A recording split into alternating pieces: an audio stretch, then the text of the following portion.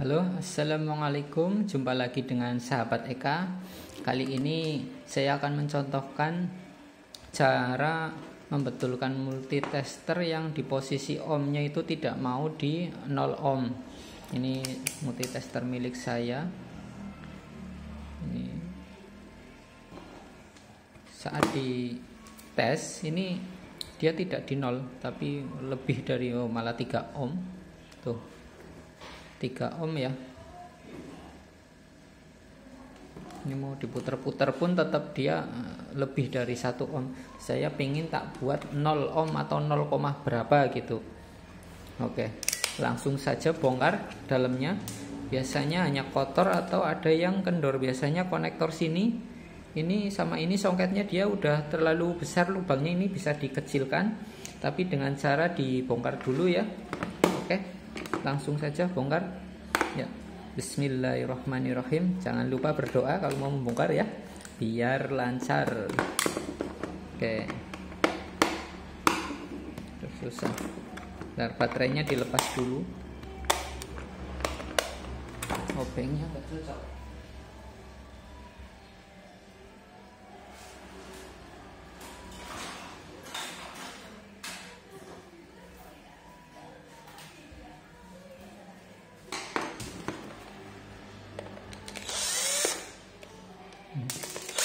biar cepat pakai bor.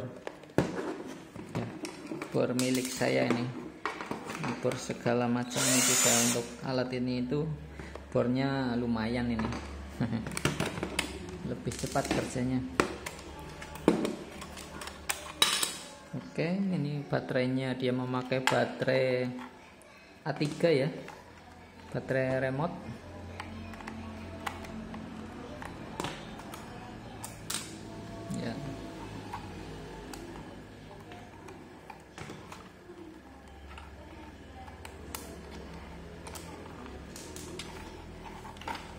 oke murnya sudah dilepas. Angkat dari sini nih dari sininya.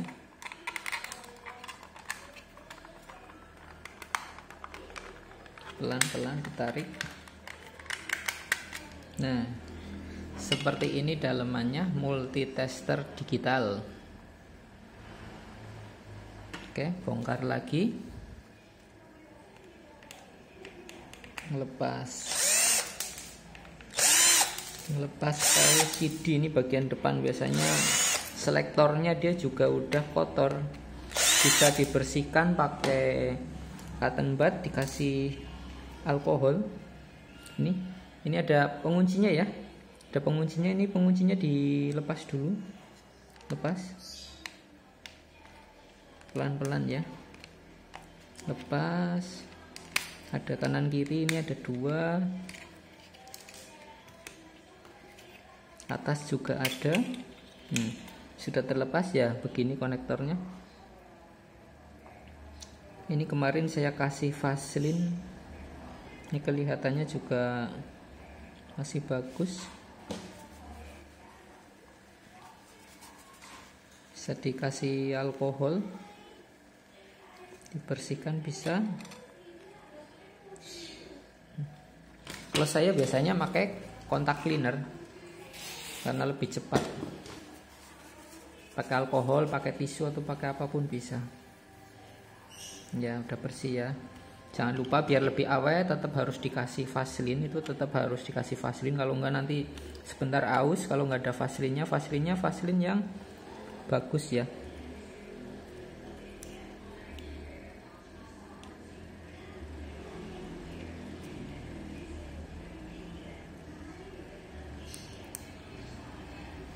Oke.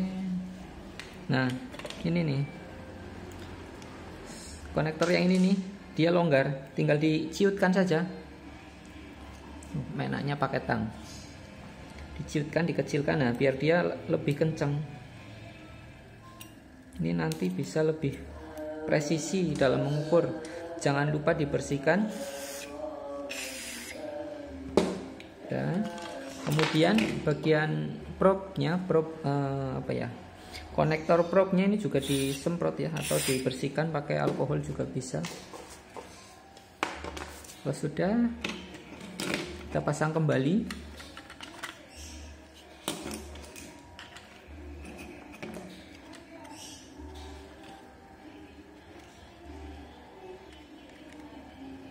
Depan dulu pasang kemudian belakang ya kalau sekiranya udah pas langsung tekan. Biar dia mengunci lagi. Tekan gini. Nah udah ya. Coba putarannya gimana? Ah, halus. Dia lebih halus. Oke. Tutup tutup. Tutup lagi ya. Oke, jangan lupa murnya dipasang. Murnya pasang.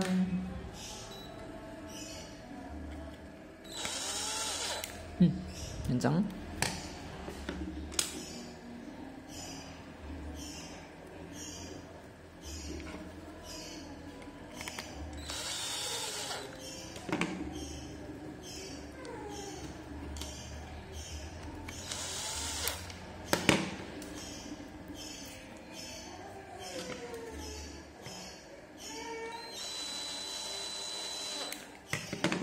pakai obeng jenis bor begini lebih mudah kerjanya.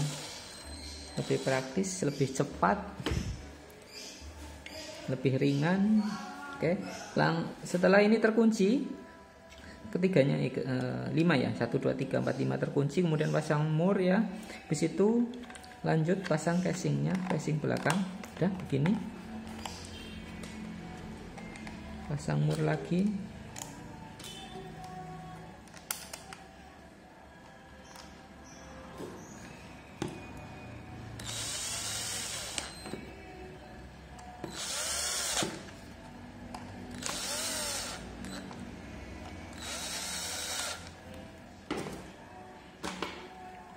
pasang baterai jangan sampai kebalik masangnya.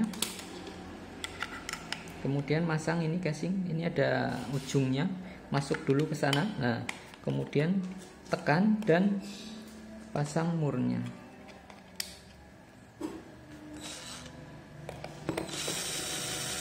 Mari kita coba apakah sudah mau di nol di posisi di 0 ohm? Tadi soalnya 3, berapa ohm gitu ya. Oke kita coba.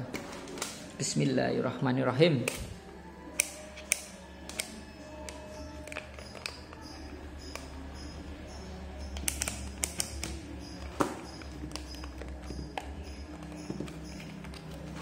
Ini baterainya mungkin bentar.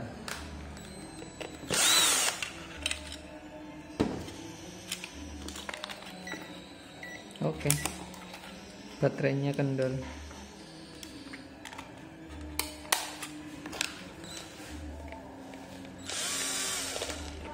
Oke sudah.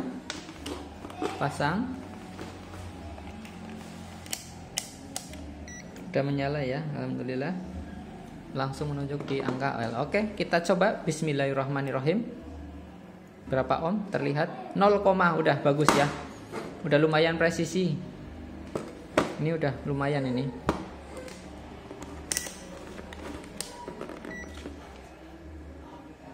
Nggak ada satu ohm ya. Lumayan presisi.